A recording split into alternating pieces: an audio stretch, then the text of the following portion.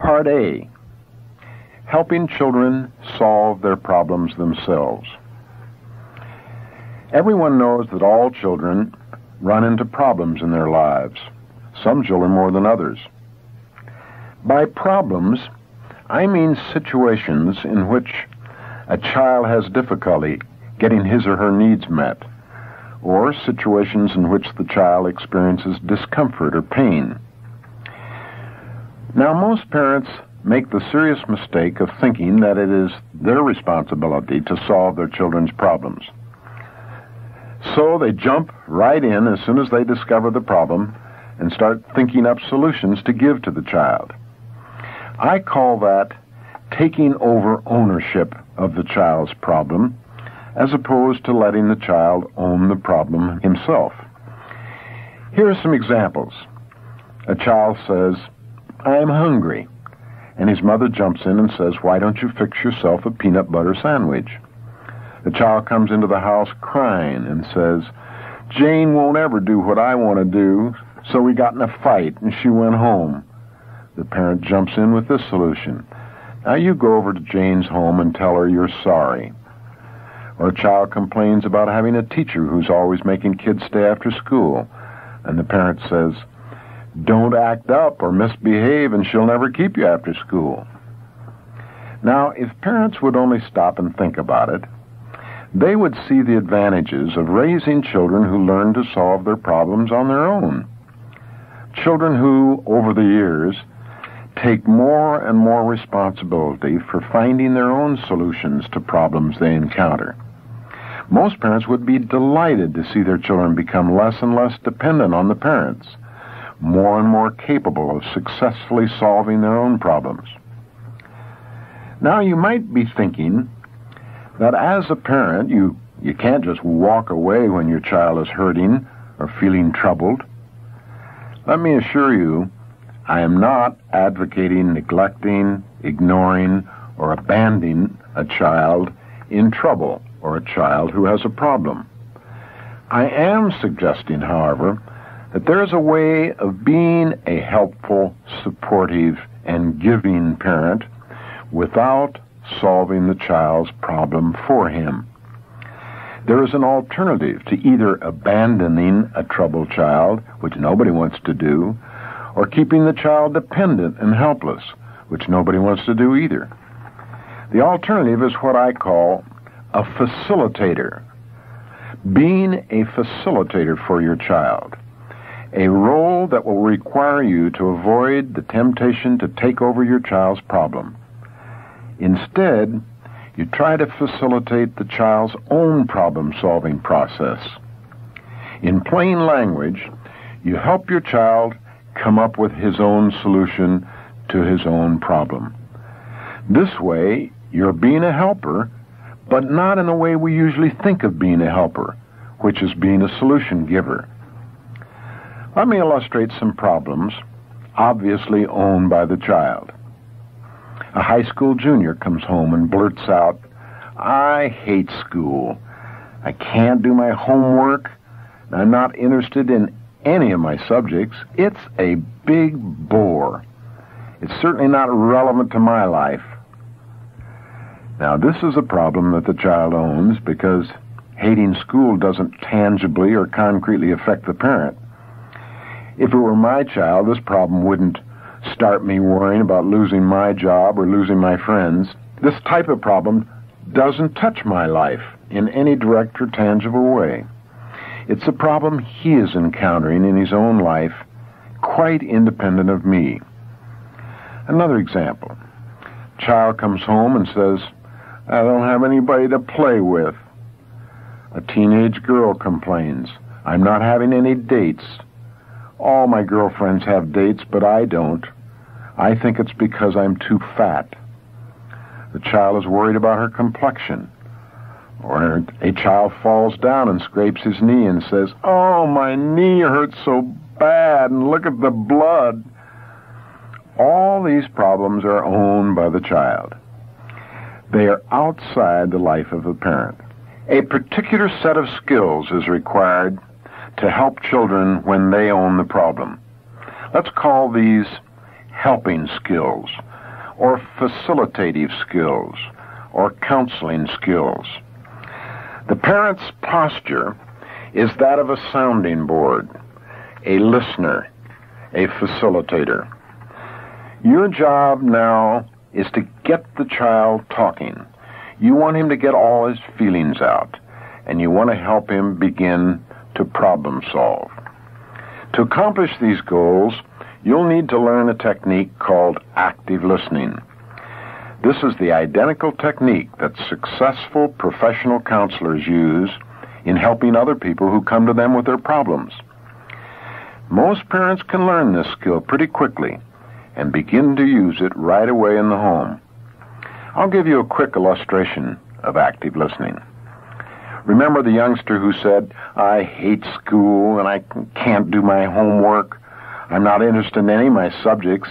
It's not relevant to my life and it's boring. You would be using active listening if you responded by mirroring back or reflecting back in your own words exactly what the youngster's feeling. No more, no less. It would sound something like this Jimmy, it seems like you're really fed up with school. You just don't feel it's very relevant to your life, so it's terribly boring for you. You can't study or find anything that interests you. And he'll undoubtedly say, Yeah, that's right. Feeling you really understood me. Now, this kind of mirroring back to the child, you'll discover, is a powerful communication technique. But it will take some time and a lot of practice before you feel you're doing it effectively. If you're like most people, you'll find it difficult just to listen when your child has a problem. Your tendency will be to jump in very quickly with your own solution, or to tell how you handled the same problem when you were a kid.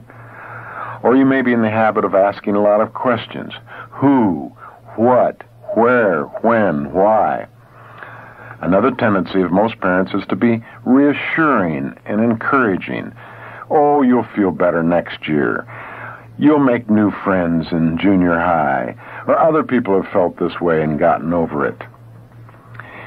Think of active listening as silent listening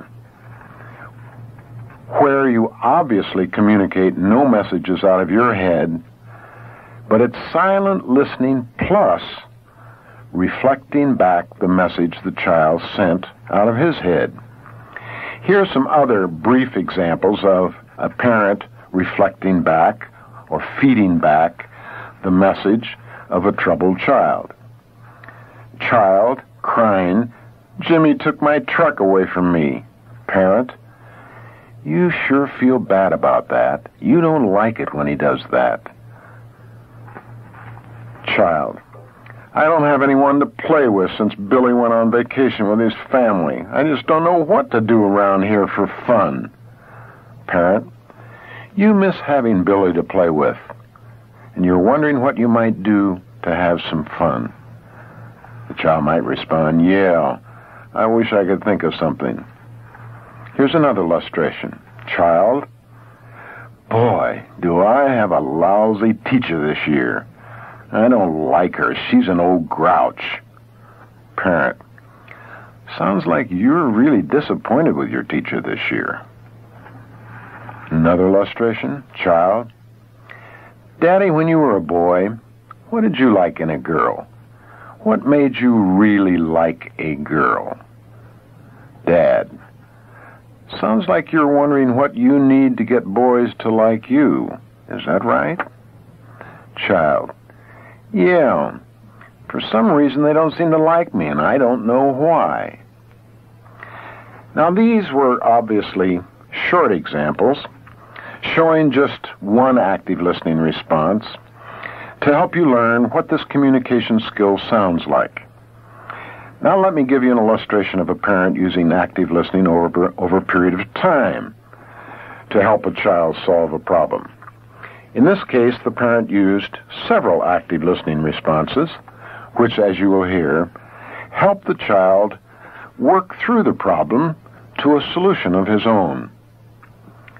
One morning at breakfast, before she left for junior high school, my daughter Judy, asked me a question. Daddy, what did you like in girls when you were a boy? The same question as I illustrated earlier. Like most fathers, I was immediately tempted to take the ball and run with it, once given such a chance to reminisce about my boyhood. Fortunately, I caught myself and came up with an active listening response. I said, Sounds like you're wondering what you need in order to get boys to like you. Is that right? Daughter, yeah. For some reason, they don't seem to like me, and I don't know why. Father, you're puzzled. Just why they don't seem to like you. Daughter, well, I know I don't talk very much.